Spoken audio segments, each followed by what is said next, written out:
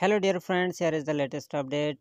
Linda Evangelista says sculpting left are brutally disfigured. So guys, Linda Evangelista, a top 19th century supermodel known as a member of fashion's Holy Trinity, announced on Thursday that she plans to sue the company behind Zeltec School sculpting procedure, a non-invasive fat reduction treatment frequently marketed as an alternative to uh, liposuctions.